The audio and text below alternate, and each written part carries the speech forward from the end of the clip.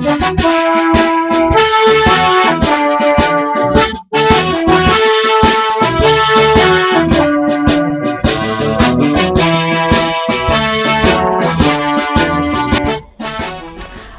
المشاهدين أسعد الله أوقاتكم أينما كنتم. بكل خير من تلفزيون جمهورية صومالي لاند نحييكم ونقدم إليكم نشرة الأخبار. نستهلها بأهم وأبرز العناوين. رئيس الجمهورية ومشاركته في تشييع جثمان المرحوم عباس إدريس. وزير وزارة العدل والجهاز القضائي وافتتاحه لدورة تدريبية. حزب كلمية الحاكم يصدر اليوم بيانا صحفيا. أعزائنا المشاهدين كانت هذه أبرز عناويننا وإليكم الآن النشرة بالتفصيل.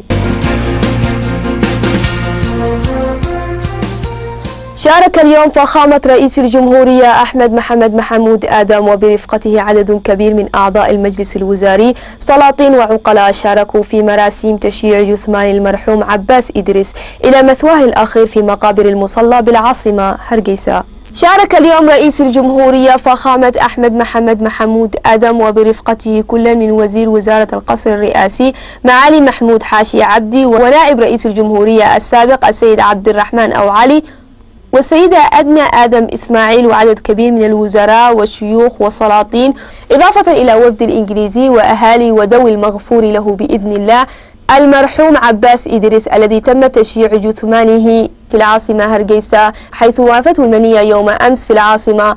وفي كلمة لرئيس الجمهورية أشار إلى التاريخ الطويل الذي لعبه المرحوم في استقرار وأمن صوماليلاند والمجهودات التي بذلها لقيام دولة صوماليلاند. كما تحدثت إحدى سيدات الوفد البريطاني أشارت من خلاله إلى أن المرحوم قدم إلى صوماليلاند منذ عام 1948 بصفته جنديا بريطانيا. حيث تسلسل في عدد من المناصب منها على سبيل المثال قنصل دبلوماسي وكيل بريطانيا واعتنق الإسلام في عام 2009 كما تحدث بكلمة وزير القصر الرئاسي بجمهورية صوماليلاند أشار من خلال حديثه إلى الدور الذي لعبه المرحوم من أجل فض النزاعات حول الأراضي الزراعية خاصة في إقليم قبيلي حيث قام بتقسيم الأراضي الزراعية بصورة عصرية لتفادي النزاعات. هذا وتحدث بكلمة نائب الرئيس السابق أشاد بمجهودات التي بذلها المرحوم. ودعوا الله القدير بأن يتغمد الفقير بواسع رحمته ويلهم أهله وذويه الصبر والسلوان معازيين أيضا شعبين وحكومتين المملكة المتحدة وجمهورية صوماليلاند وإنا لله وإنا إليه راجعون. صرح اليوم أمين عام مجلس الشيوخ بجمهورية صوماليلاند سعادة سليمان محمود آدم. من خلال مقابلة صحفية لوسائل الإعلام صرح من خلاله أنه لا تأخير في موعد انعقاد الانتخابات الرئاسية والبرلمانية القادمة في البلاد. صرح اليوم أمين عام مجلس الشيوخ بجمهورية صوماليلاند سعادة سليمان محمود آدم من خلال مقابلة صحفية لوسائل الإعلام. صرح من خلاله أنه لا تأخير في انعقاد الانتخابات الرئاسية والبرلمانية المقررة خلال العام القادم. هذا كما أشار مكذبا الأنباء التي تناولتها مؤخرا بعض الصحف الخاصة والتي مفادها تأجيل انعقاد الانتخابات مشيرا إلى أن هذه الأنباء لا صحة لها. كما ناشد مروجي هذه الأكاذيب بتوخي الحذر وعدم إشاعة الفتنة بين صفوف المواطنين لما لها من آثار سلبية على الأمن والاستقرار في صوماليلاند مشيرا أنه لا تأجيل في انعقاد الانتخابات التي مقرر انعقادها سابقا. هذا وناشد مواطني إقليم سناك بضرورة تدوين أسمائهم واستخراج البطاقات للمشاركة في الانتخابات الرئاسية والبرلمانية المقرر انعقادها في صوماليلاند في العام القادم. أصدر اليوم حزب كلمية الحاكم بيانا صحفيا أعلن من خلاله عن الموعد المحدد لانعقاد الانتخابات الرئاسية والبرلمانية القادمة في البلاد.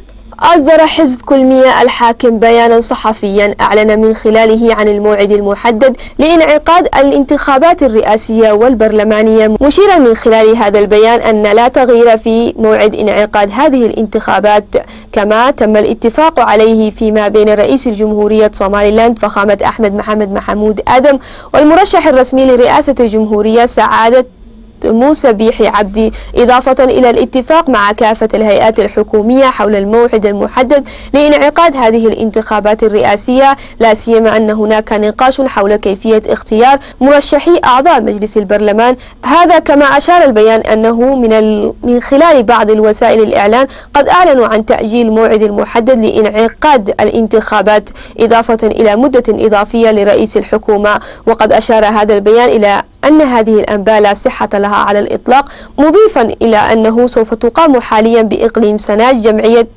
عملية تدوين الناخبين وهي استعدادا لخوض الانتخابات التي لا تأجيل فيها والله الموفق لسواء الحساب.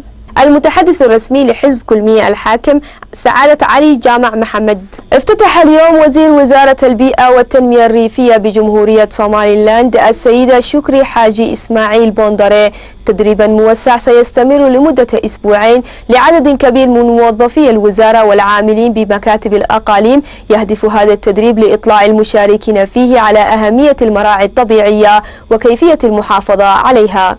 افتتح اليوم وزير وزارة البيئة والتنمية الريفية بجمهورية سوماليلاند السيدة شكري حاجي إسماعيل بوندري تدريبا موسع سيستمر لمدة أسبوعين لعدد كبير من موظفي الوزارة والعاملين بالمكاتب الأقاليم. وقد قامت هيئة اس بي اف بتمويل والإشراف على هذا التدريب الذي يهدف إلى إطلاع المشاركين على أهمية المراعي الطبيعية وكيفية المحافظة عليها.